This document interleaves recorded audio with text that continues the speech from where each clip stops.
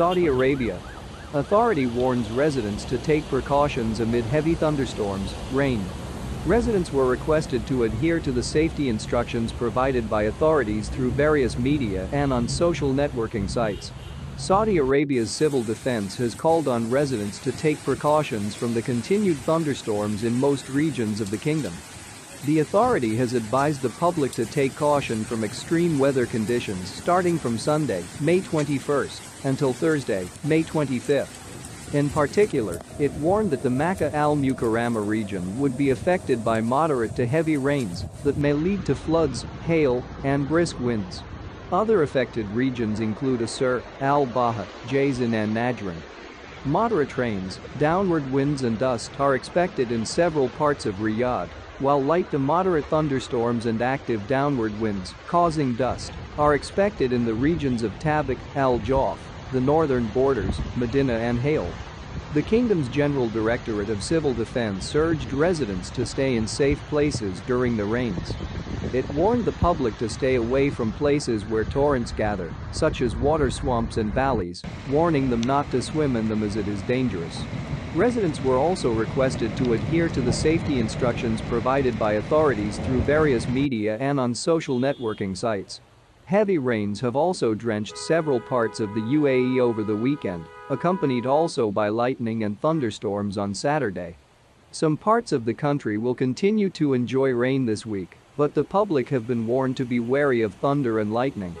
The UAE's National Center of Meteorology has reported heavy showers in Abu Dhabi since Sunday morning. In Dubai, the Mina Jebel Ali area saw light rainfall. The Met Department also recorded moderate to heavy rain in Granada with lightning and thunder. Al Bahia also experienced light to average rainfall. Social media platforms were abuzz with videos of rain at the Abu Dhabi International Airport, however, there are no reports of flight disruption due to weather.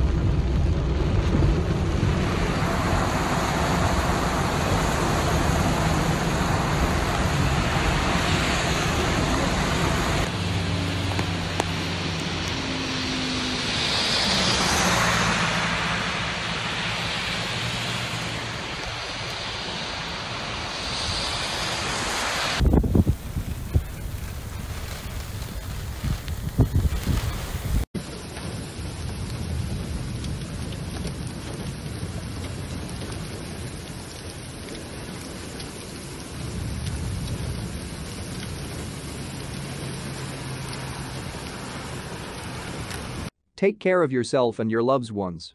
Have a nice day.